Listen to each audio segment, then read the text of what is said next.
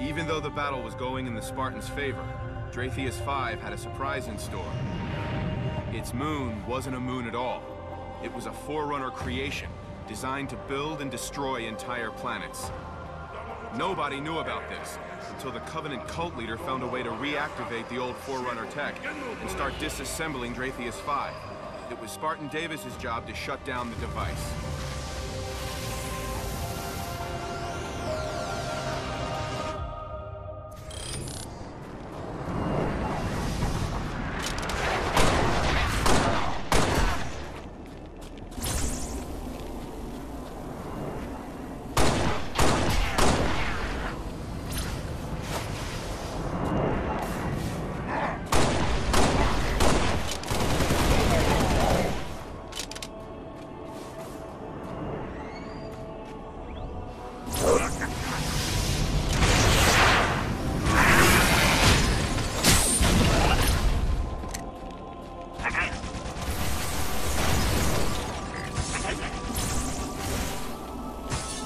Ah!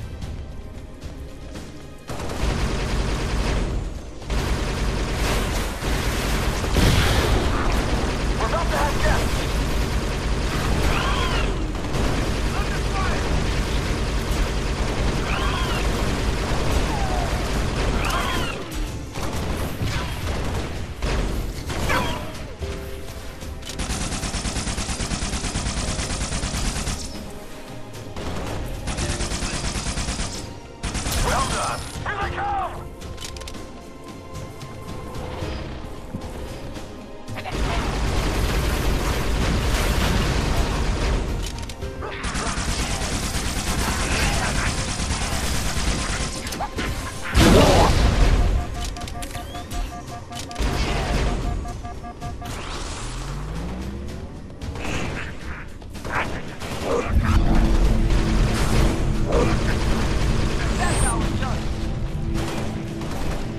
Ha ha ha!